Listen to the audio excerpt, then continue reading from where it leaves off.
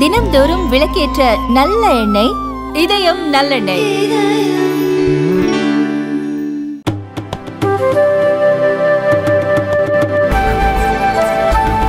தமிழகத்திலிருந்து நீட் தேர்வை ஒரு லட்சத்து நாற்பத்தி ஏழாயிரம் மாணவ மாணவிகள் எழுதினர். இவர்களில் எழுபத்தெட்டாயிரத்து அறுநூற்று தொன்னூற்று மூன்று பேர் வெற்றி பெற்றனர். தேர்ச்சி விகிதம் ஐம்பத்து நான்கு புள்ளி ஐந்து ஐந்து சதவீதமாகும்.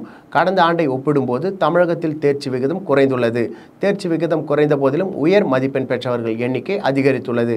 அகில இந்திய அளவில் அறுநூறு மார்க்கிற்கு மேல் பெற்றவர்கள் எண்ணிக்கை கடந்த வருடம் இருபத்தி ஆறாயிரமாக இருந்த நிலையில் இந்த ஆண்டு அது இருபத்தி எட்டாயிரமாக உயர்ந்துள்ளது.